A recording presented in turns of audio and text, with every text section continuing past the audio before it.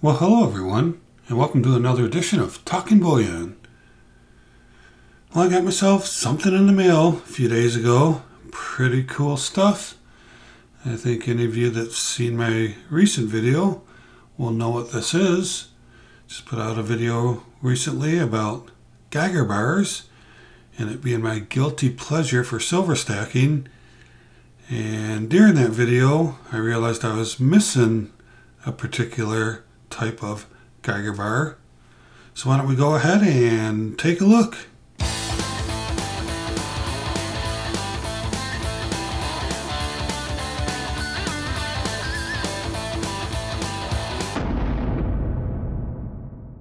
Alright, so if you watch that video, you'll know that I commented on not having any of these. And if you haven't watched that video, I'll put a link down below. And I would encourage you to go watch it. I think it's a pretty good video. It's got some really cool Geiger bars in it. If you like Geiger, you gotta watch it. If you're not familiar with them, take a look at it. Because it's got some really cool stuff in there. Alright, but I didn't have any of these particular type. I had the size, but I didn't have them in assay is what they call it in the plastic hard case. I'll show you that here in a second. Let me get this open. Let me see what they did here. It looks like they a nice piece of tape across here. Almost doing an unboxing without doing an unboxing. Alright. Guess I'm just going to have to cut this thing open because this thing is taped mighty fine. Alright. That's good. I don't mind them wrapping it up nice and securely like that. Let's go ahead and get these out of here. Put that aside. So these are Geiger bars and assay which is what this plastic case is. So these are the five gram bars. If we look down here, uh, it's going to be a little hard to see. Five grams. Geiger Original, made in Germany. If we flip it over, we'll see the certificate is built into this case. See certificate right there. And we can see 5 grams, 999 silver, production manager. And they've also got the security features. The blue ink there says LEV inside that uh, diamond. And then you've got your serial numbers. So let me see. You know what? I always check to see if I got consecutive serial numbers. What's this one? Nope. That one was 804 that one's 875. You know, it's not a gotta have, but it's a pretty pretty good nice to have, right? What's that one? 874. Just looking at the last three digits here. Or sorry, 871. Let's look at this one. 867.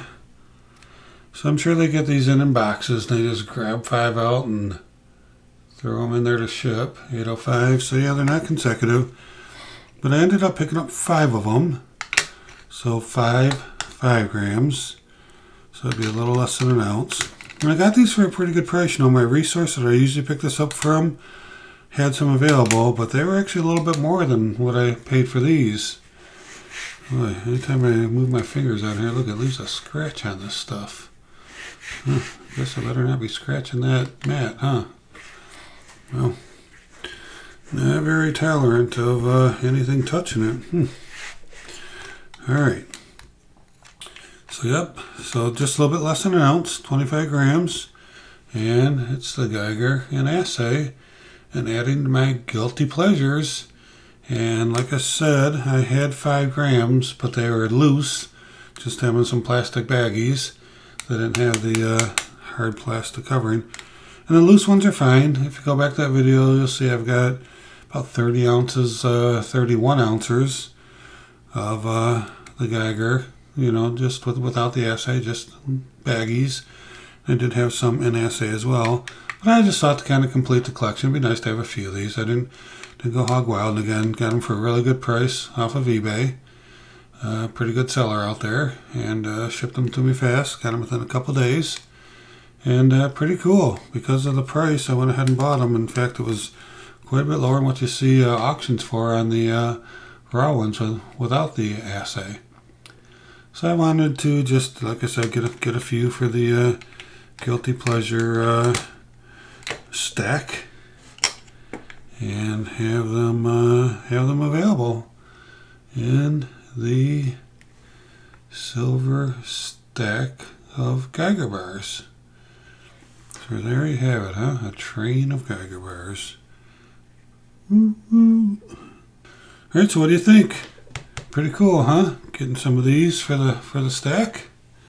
And also one other thing I'd like to say, and I'll also put a link to it at the bottom as well, is that I did a really good video on Geiger and their history, and it's got some production footage of being inside the factory and what they're doing in there. Uh, again, I'll put a link to that as well, but um, I think you should check that out. I think you'd really enjoy that video. Geiger's been around for a long time, since the 1200s, over there in Germany and uh, they're uh, they're a pretty cool minting company. They mint a lot of different things for a lot of different places. They do the Noah's Ark for Armenia, both the silver and the gold, and uh, you know many many many other things as well. So why don't you pop on over and take a look at that one as well because I think you'd really enjoy it. All right, so I hope you enjoyed the look of the Geiger bars and assay. Let's look at this one. This one might might have a little chip on it. Doesn't look like it's been opened, but it looks like maybe it was dropped. Huh, I'll have to take a look at that. We got better. Look, maybe got banged while it was being shipped.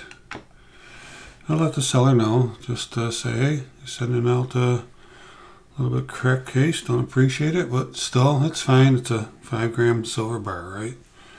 All right, folks, that's it. Thank you for watching. And always remember, let's keep talking bullion.